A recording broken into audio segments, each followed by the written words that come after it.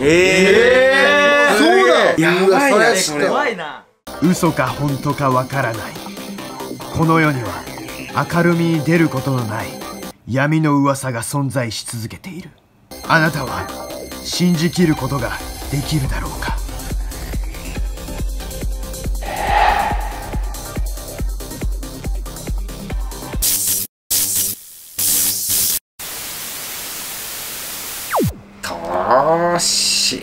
いやよっしゃいや今日はね濃すぎちゃう。ええー楽しみ。濃すぎちゃうんですよ。地下に関する都市伝説を。地下？地下。ってはい。いまだに分かってないんですよ。地球の中が一体どうなっているのかあって地球では一体奥の奥まで行けば分かんないよね。そうそう。だから今日は地下にまつわる都市伝説を5個紹介していおくー。おもろいおもろいおもろいこれ紹介して皆さんに興味を持っていただきたいなと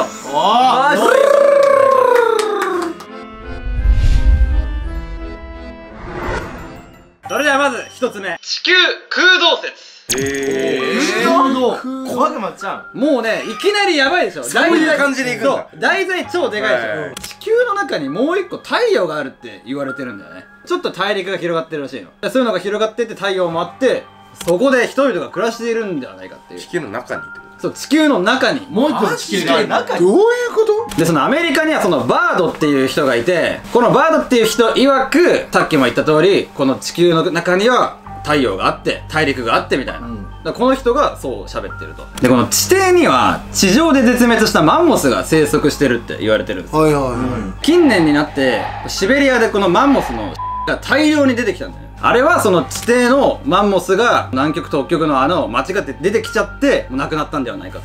シベリアに全くそういうのが今まで見つからなかったのにあある日を境に急に大量にブワーって出てきたかなるほどね。ら俺はじゃあその地底の穴から出てきた間違って出てきちゃったものなんではないかって。いおーそれでは2つ目いきます。はい。地底世界の入り口を撮影した極秘映像。特兵映像。極秘映像。極秘映像。です、まあこれもさっきのとちょっと似ちゃうんだけど基本的に地底の穴っていうのは南極とか北極にあるって言われてました。はいはこれの入り口の撮影に成功したと。いあ嘘だよではこちらをどうぞ。はい。なんで俺や穴開いてるねちゃんとね。ロシアの宇宙船から撮った映像ですこれね周りはね分厚い氷の壁に囲まれてて、でなおかつ濃い霧で囲まれてるから、発見するのってめちゃめちゃ難しいんですよでこの赤い光あるでしょ。これが地球の中にある太陽の光と言われております。空洞の世界で生きてるってこと？そうそうそうそうそう、なるほど。あいつは怖いよ何今。の今の反応怖いよなんか音すんね。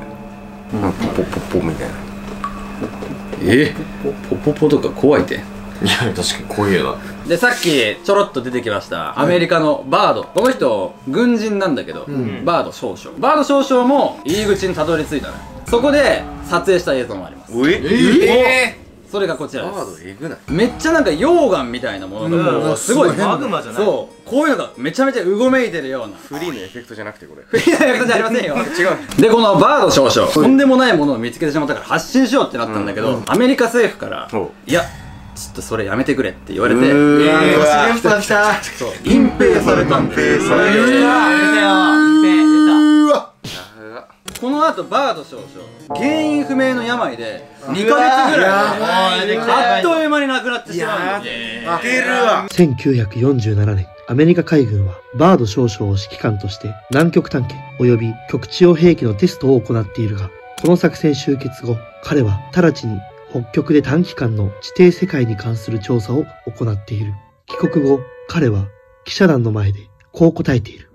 私の曲の彼方の土地をこの目で見たいと思う。その曲の向こうの地域は大きな謎の中心をなすものだ。この発言めちゃめちゃ意味深で、どういうことかっていうと曲の彼方って言ってる。ザ・ランド・ビヨンド・ザ・ポールってそもそもおかしいのよ。ランドってこれほぼ海なわけよ北極っていうのは。ああ確かに。そうこんな海だらけのところにランドっていう言葉のチョイスは明らかにおかしい。おかしいね。でこの beyond っていうのもおかしいんですよ。普通は across とか横切るあ大体そういう言葉を使う、うん。はい。ここで beyond 彼方っていう言葉のチョイスをしたのはちょっとおかしいんですよ。だからもうバード少将はもう俺らには知る由もないものを多分見てしまったと。でも結局それをが世界に広まる前にもう政府に口止めされたから結局真相は分からないよあー西武闇抱えてるね。それでは3つ目いきはい。ます沖縄に地下鉄を作らない理由。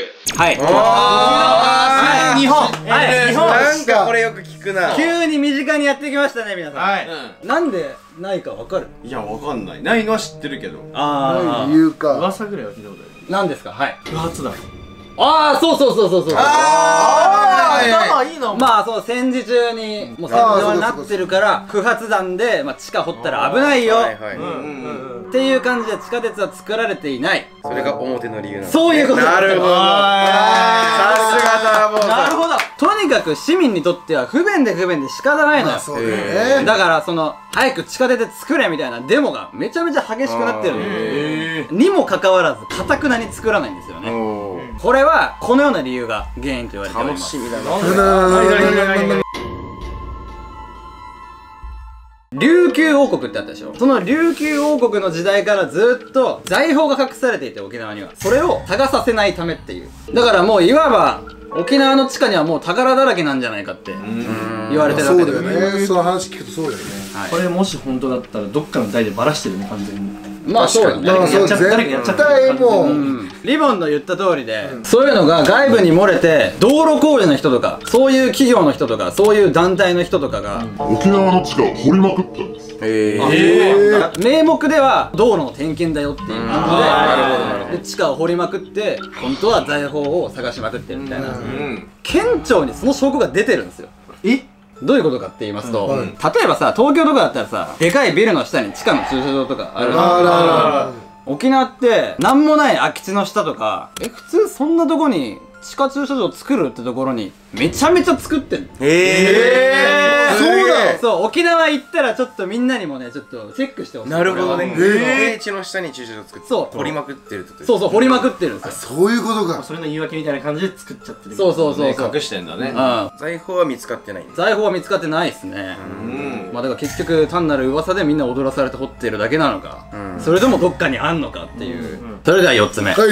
東京の地下鉄は軍のために作られた説。東京。東はい今度は東京でございます。あーなんかちょっとちらっと聞いたことあるね。この東京のでっかい地下みたいなは。い。東京の地下鉄に詳しいある専門家の方はこう言ってます。地下鉄の路線の多くは軍事目的で建設されていると。まあその理由っていうのがまず一つ目。国会議事堂駅前や永田町駅は VIP しか通れない秘密の隠し通路があって国会議事堂までそのまま行くことが可能と2つ目。国会は有事の際の核シェルターになると。これを裏付ける証拠として地下鉄のほとんどは国会だったりとか観光庁のある永田町周辺に地下鉄っていっぱいある、じゃあその渋谷だったりとか六本木とか繁華街じゃん。こういう場所こそ地下鉄を作ればいいのにって思わないですか？言うほどないのあそう。ないない確かないない全くないこれっていうのは地下鉄っていうのは一般市民が集まるようなところのためではなくこういう国会をよく利用する役人のために作られた何よりの証拠と言えるんだよ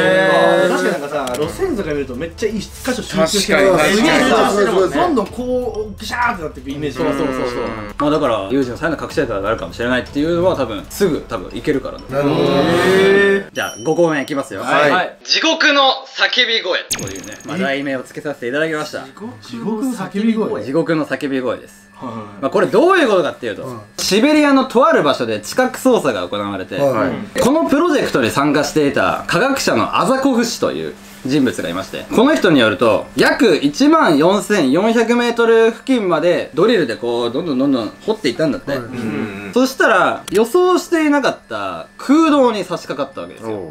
あれなんだこれはってなって何かちょっと調べてみようってなって、地下の温度は約1000度だったと。耐熱器の録音機とかをバーって入れて一体中で何が聞こえるか調査してみたんだって、そしたらもう恐ろしい恐ろしい。男と女がうわーうわーって聞こえてきたらしいですマジうわでさっきも言った通りもう温度は1000度よここに人間がいてこの1000度の熱い炎に焼かれているような人間の叫び声だったのではないかと。そしてなんとこの音声があるんです、えーあんのあ聞けるの？やうわそればいなはいなもう本当にゾッとした俺はこれを聞いて。マジ。やばい本当にやばいそれ本当に俺もマジでゾッとして結構トラウマレベルだから。本当にトラウマやばいな。本当にね聞く際は今から流すんですけどもう注意でございますこはれは、いはいはい。こちらが地獄の叫び声です。Here is very disturbing indeed.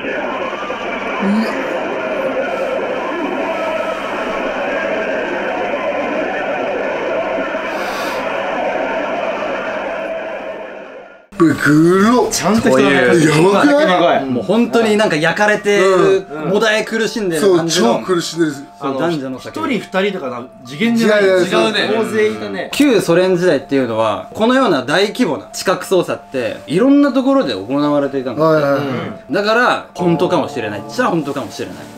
そのうちどれかの一つなのかもしれませんという。ちなみにまあこのアザコフシが掘った長さっていうのが1 4キロに対して地球の直径約1万3000キロでございます。長っ。だから1 4キロで苦しんでいる男女の声がいるということは地球内部では俺らには想像もすることもできないぐらいの地獄が展開されているのではないでしょうか。信じるか信じないかはいやこれさ1時間動画にするか。やりすぎとしてる贅沢いやもうだってこっからもだっていろいろ話せるぜ俺らで。ああいやそうなんですよね。うん普通に考えててもっと地下掘れよくねって思わんだってあんな頑丈なんでもっとさいろんなとこ作ればいいじゃん。地下1階の世界をまた作ってまあ確かにね。そう。面積倍じゃん。電車のためだけじゃななくてね。のになんで作らないんだろう。なんかあんだろうね。うーんそれこそもうみんな知って知ってるかもしれないですけどディズニーは地下ありますからね。ああらしいね。知らないそうな人。ただキャストは入れるんですよ。え紹介した5選の中でもっとターボこれ喋ってくれよ。というものがありましたらぜひコメントをお願いします。お願いします。それではチャンネル登録よろしくお願いします。お願いします。それでは次の都市伝説でお会いしましょう。バイバイバイビー。バイバイビー